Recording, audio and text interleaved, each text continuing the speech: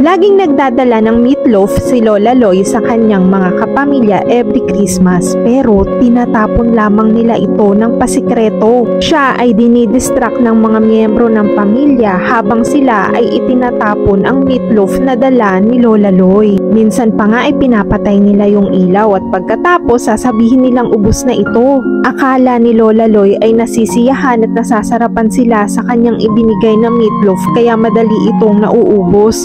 Yung pala ay pinapakain lang nila ito sa kanilang alagang aso. Lumipas ang mga panahon at si Lola Loy ay pumanaw na. Wala nang nagbibigay ng special na meatloaf sa kanila every Christmas. Pero iniwan niya yung recipe kung paano ito lutuin. Kaya naman pinilit itong i-recreate ng kanyang mga pamilya. Ngunit nung tikman nila ito ay hindi masarap. Hindi ito kasing lasa ng espesyal na binibigay ni Lola